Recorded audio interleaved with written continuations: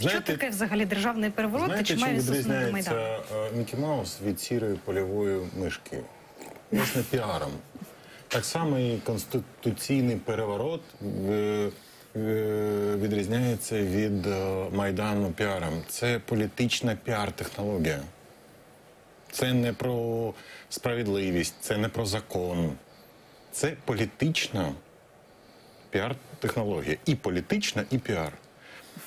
І якщо її розглядати серйозно, то вибачте, ну не можна розглядати серйозно те, що немає е, жодного аргументу підґрунтя чи ну, чогось зрозумілого, чогось вимірювального. Ну, лише слова та балачки.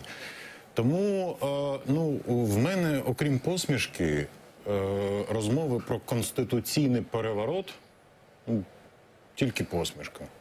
Ну що тут скажеш на, на таку дурість? Але людям подобається. І е, є багато людей, в яких є запит на це. Ну, бо це обговорюють.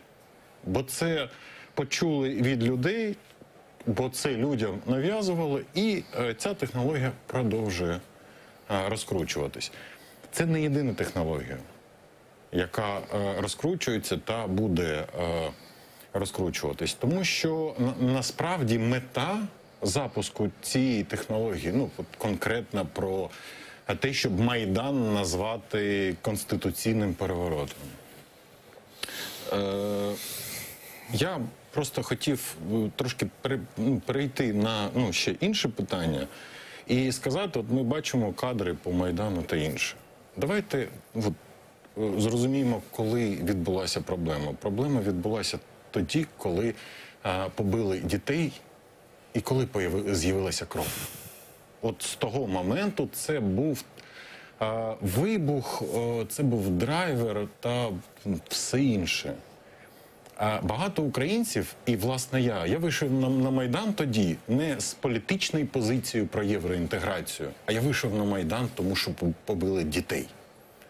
І це про насильство, і це про кров, це про різне.